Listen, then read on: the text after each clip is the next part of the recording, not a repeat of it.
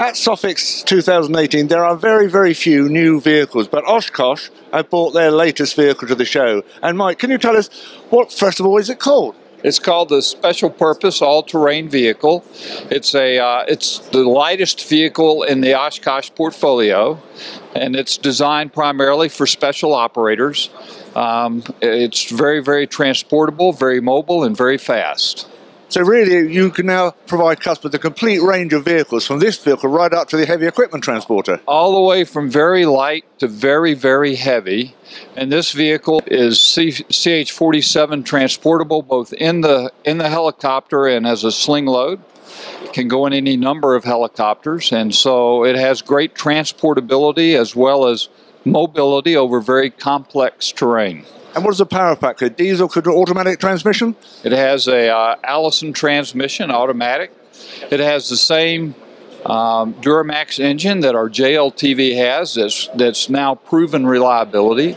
It has a TAK4i suspension system on it, just like the JLTV, that brings the proven reliability of the JLTV. So I think that suspension really gives you that mobility, what a lot of special forces vehicles don't have, because really the platform can do better than the crew. Oh, that's this, this uh, gives that capability back. Well, and that platform does so many things for you. First of all, it enables high speed over complex terrain. Secondly, it provides a very smooth platform as a firing platform for any number of weapon systems.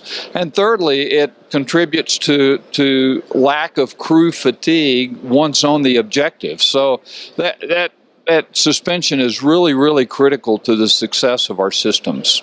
I think most people don't realise mobility is the one area where there is a major change in growth, and it looks like you've got it on this vehicle. Right, that's absolutely right. And we're delighted to be able to offer customers that high commonality with JLTV because it does bring that proven reliability. And secondly, it reduces logistics costs by, by having common components. And it's got a high ground appearance by the look of it. It does have a, a very high uh, a very high ground clearance. It, it enables uh, it enables it's one thing that enables uh, mobility over complex terrain. Yeah. This vehicle has a CITS, which is one of the number of options you offer the customer. Again, that contributes to the great mobility of the truck is having the CTIS system.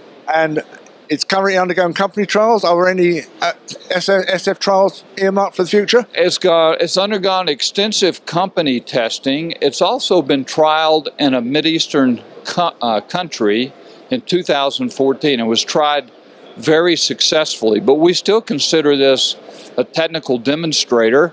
This is the only one that we've built.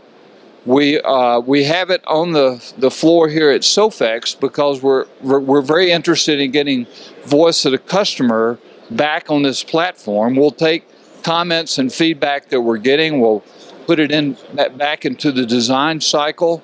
And when we have the opportunity to present this to a customer in the future, it will it will have those those uh, the voice of the customer built in. The thing about special forces, they often have budgets to to purchase things very quickly, but no SF want the same thing. They're very all want different packaging, different weapons, different storage. Right. So you've got a vehicle which meets that flexibility. Right. This vehicle is configurable. We can tailor it to customer any number of customer requirements. As it sits on the floor today, of course, it's unarmored. We could put an armor package on it to give it both a ballistic and an underbody protection. We can we can add more armament to it. We can put any combination of of, uh, of arms on the roof of the vehicle, so we can tailor it to whatever the customer requires. Thanks very much, Bobby. Look forward to following that with interest. Thank you.